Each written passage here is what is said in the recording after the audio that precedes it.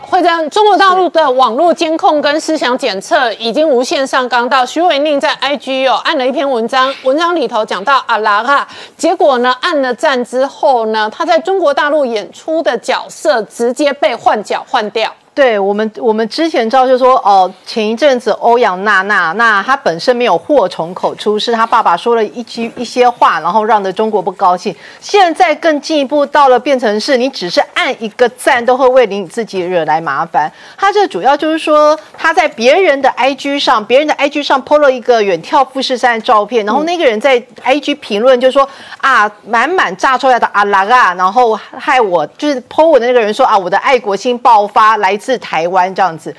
徐伟宁就是在这个贴文上按了一个赞，而且是用他的一个英文的一个昵称的名字，这样子也被发现出来。嗯，一发现之后，马上他大家检举他，就说哦，你其实歧视我们中国人。他是凌晨用亲笔信，然后就是写了一个，我是来自于。安安徽芜湖，然后呢，对我来讲只有一个中国。然后呢，我不我讨厌台独，我讨厌分裂。那这一封信一出来之后呢，但是好像没有办法遏制他了。现在他传出最新的一出戏，摩天大厦可能要被换角。嗯，那我们知道说徐伟宁，因为刚刚的那个也有拍到，就是说他之前其实主要是以拍那个恐怖片起家的，鬼片起家，所以他在去年开始才正式前进到呃中国的一个市场。去年下半年开始也是拍了这样子的一个悬疑片。那摩天大厦是一个制作费很很高的一个呃，算是一个大剧，所以也有人说他是因为。抢了别人的一个机会，所以被人家冲康。嗯，但是他现在的手写一个中国的一个表态信，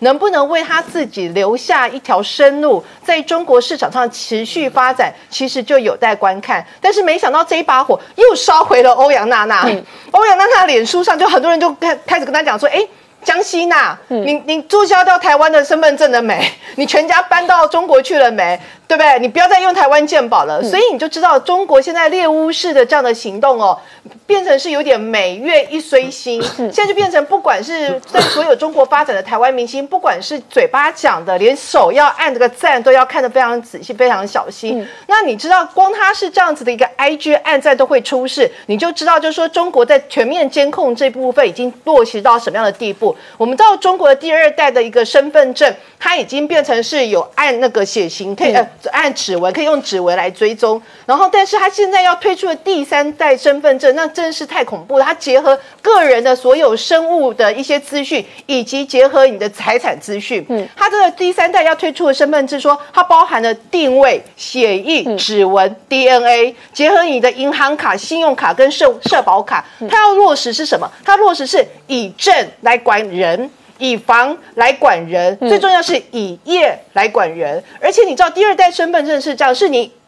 可能给他一个，就是安管看到警警察看到你的身份证，他可以查出你所有一些相关的一个住宅的信息。但是呢，他的第三代身份证甚至要变成是，他不用直接实体接触你的卡片，你只要经过他这个固定的地区，大概一个几公里的十米之内，他就可以把你的卡片的讯息给读出来。嗯，所以这个第三代身份证，他们现在在试行的一个结果是，他在二零一七年针对一千九百万人开始试行，试行理由是啊。我们来推动全民的一个体检活动，嗯，结果后来试行出来，结果让大家就吓呆了，因为发现说它不仅是可以让你的一个相关的所有的血型相关的讯息全部揭露在上面，它甚至可以在一些场合，然后比如说哦，发现你的这个哎你有问题，你曾经被你曾经被认为是你思想有问题，它在所有的来电打理上全结合大数据，可以全面监控你，嗯，再加上我们知道之前推出的中国的大数据，它已经。成功的将